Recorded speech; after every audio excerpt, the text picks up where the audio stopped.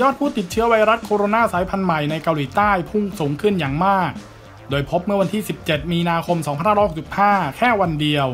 มีผู้ป่วยใหม่ถึง 621,328 คน และเสียชีวิตถึง 429 รายทำลายสถิติใหม่ของประเทศ และทำให้ยอดผู้ติดเชื้อสะสมเพิ่มเป็น 8,255,592 คน และเสียชีวิต 11,481 ราย ส่วนผู้ป่วยอาการหนักขณะนี้มีเพียง 1,159 คน ทั้งนี้เกาหลีใต้มีแนวโน้มผู้ติดเชื้อสูง ในหลักหมื่นมาตั้งแต่ปลายเดือนมกราคม จนกระทั่งต้นเดือนมีนาคม เริ่มมีผู้ติดเชื้อเกิน 300,000 คนต่อวันเป็นครั้งแรก ซึ่งคาดว่ามีสาเหตุมาจากเชื้อสายพันธุ์กลายพันธุ์โอมิครอนที่ระบาดง่าย โดยผู้ป่วยส่วนใหญ่อาการไม่รุนแรง รักษาตัวในบ้าน เพื่อให้เตียงโรงพยาบาลว่างสำหรับผู้ป่วยอาการหนัก ขณะที่ชาวเกาหลีใต้ได้รับวัคซีนครบ 2 เข็มแล้ว 86.6% และได้รับเข็มกระตุ้นแล้ว 62.8%จากประชากรกว่า 52 ล้านคน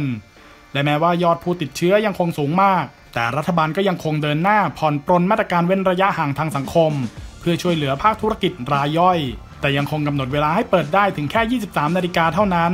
และจำกัดการพบปะสังสรรค์แบบเป็นส่วนตัวไม่เกิน 6 คน นอกจากนี้ยังเตรียมยกเลิกกักตัว